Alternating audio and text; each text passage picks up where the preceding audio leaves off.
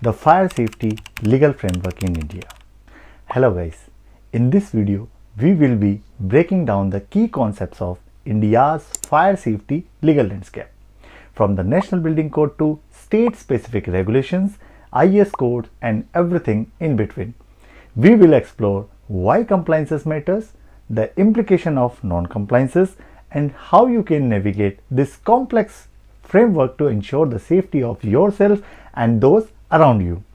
Whether you are a seasoned fire professionals or someone just starting to dip their toes into this critical field, this video is for you. So grab a pen, take some notes and let's embark on this important journey together as we explore the legal framework for fire safety in India. Don't forget to hit that subscribe button and ring the bell icon so you never miss a update. Let's mark our world a safer place, our spark at a time. Let's get started. Let's start this framework with first legal framework which is National Building Code. The National Building Code of India is 2016. It has two volumes, volume 1 and volume 2. The part 4 of National Building Code India 2016 is titled Fire and Life Safety. The NBC provides guidelines and standards for the design and construction of buildings, including fire safety measures. It covers aspects such as building material, fire resistance rating, means of egress, fire detection, and fire suppression systems. What is National Building Code of India? The National Building Code of India, a thorough building code, is a national tool that offers standards for controlling the building construction operations nationwide. Is National Building Code of India mandatory? Yes, the National Building Code of India is mandatory. NBCI was once a voluntary code, later it was included in municipal construction bylaws in the majority of states, making it obligatory and enforceable. The part covers the requirements of fire protection for the multi-storied building, which is high-rise buildings, and the buildings which are of 15 meter and above in the height of low occupancies of categories such as assembly institutional, educational which are more than 2 storied and built up area exceeds 1000 square meter. Businesses where the plot area exceeds 500 square meter, mercantile where aggregate covered area exceeds 750 square meter. Hotels, hospitals, nursing homes, underground complexes, industrial storages, meeting, banquet halls and hazardous occupancies. The second legal framework is the Fire Services Acts, which are specific to states.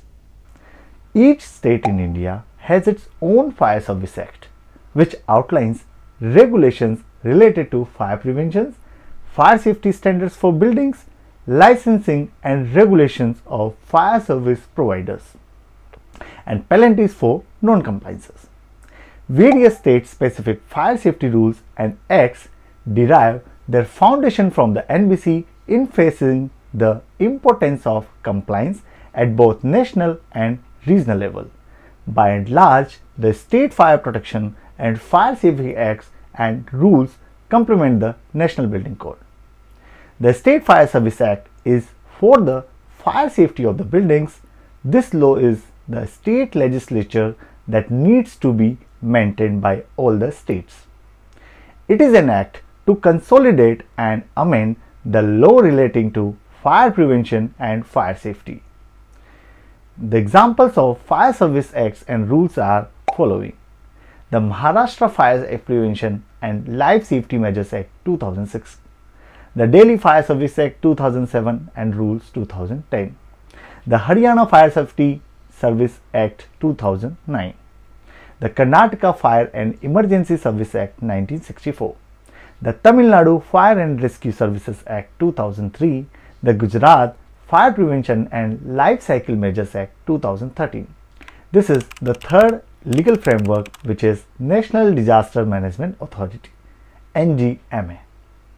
Guidelines by National Disaster Management Authority stipulate fire safety requirements for public building including hospitals, along with design guidelines relating to maintaining a minimum level of open space exit mechanism, stairs and evacuation drills. The fourth framework is Model Building Bylaws 2003. Urban Model Building Bylaws 2003 Fire clearances is the responsibility of Chief Fire Officer at each point. The Concerned Development Authority must provide the building plans to the Chief Fire Officer for clearance purposes. Municipal corporation or local governing bodies in urban area enforces building codes, issues permits and conducts inspection to ensure compliances with fire safety regulation within their jurisdiction. The fifth framework is BOCW rules. The Building and Other Construction Workers Regulation and Employment and Condition of Service Central Rules 1998. The Part 3 Safety and Health Safety Chapter 4 in General Provisions Rule number 35 talks about fire protection which emphasis on sufficient fire extinguishing equipment and adequate water supply at ample pressure as per national standards. The number of trained personnel required to operate the fire extinguisher equipment. Fire extinguisher equipment is properly maintained and inspected at regular intervals of not the less than once in a year by the responsible person and record of such inspection is maintained. Provision of fire extinguisher in transport vehicle and lifting appliance cabin. The sixth framework is Factories Act 1948 and rules. Factories Act 1998 and rules for specific states. Amongst these, the Factories Act and state factory rules are important ones.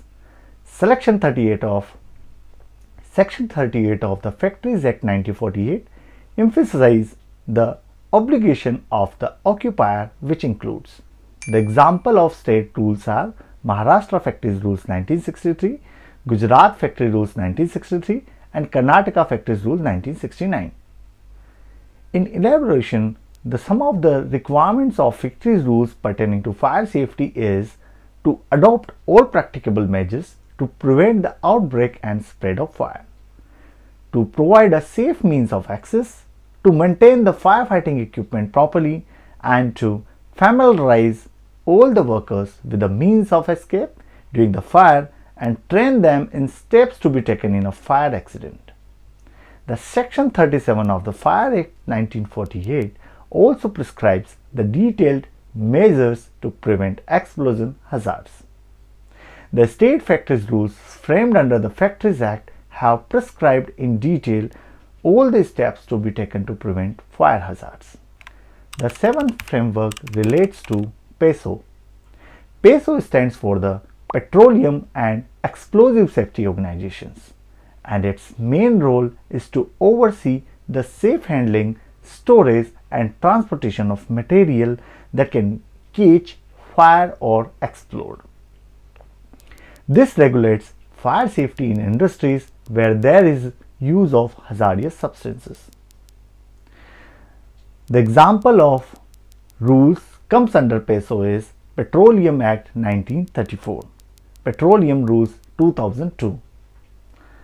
The next act which comes under PESO is Explosive Act and Rules. The Explosive Act and Rules are legal regulations that control how explosive and similar material are handled, stored and transported. The Explosive Act 1884 and Explosive Rules 2008 are the one of the example and comes under Explosive Act and Rules. Gas Cylinder Rules 2016 SMPV Rules 2016 which is Static and Mobile Pressure Vessel and Fire Rules 2015. The example of some act and rules comes under Explosive Act are Explosive Act 1884 and Explosive Rules 2008, Gas Cylinder Rule 2016, SMPV Rules 2016, which is Static and Mobile Pressure Vessel and Fire Rules 2015. The next eighth framework is Electrical Act 2003 and Electricity Rules 2005. Electrical rules also contain fire and safety requirements in order to prevent electrical fire related accidents. Central Electrical Authority Regulations 2010 and Central Electricity Authority Measures related to Safety and Electrical Supply Regulation 2013. The ninth legal framework for fire safety is Environment Protection Act 1986. The Environment Protection Act 1986, which talks about environmental safety, also gives guidelines regarding the fire safety because indirectly and directly fire accidents harm or pollute the environment as well. The 10th framework for fire safety is Chemical Accident Rules 1996.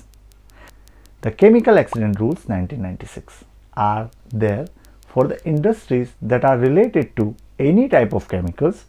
They give ideas regarding emergency planning, preparedness and response in case of accidents, including fire accidents as well.